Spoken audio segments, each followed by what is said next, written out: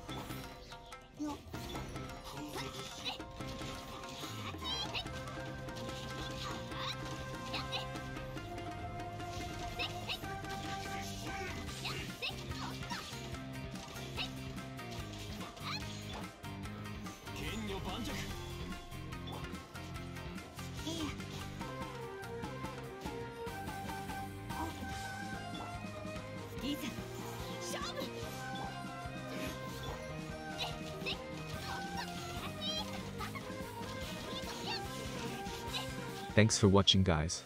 If you enjoyed this build and showcase, please smash that like and subscribe. Also, leave your comment and tell me whose build you want to see next. See you in the next video, have a nice day and stay safe.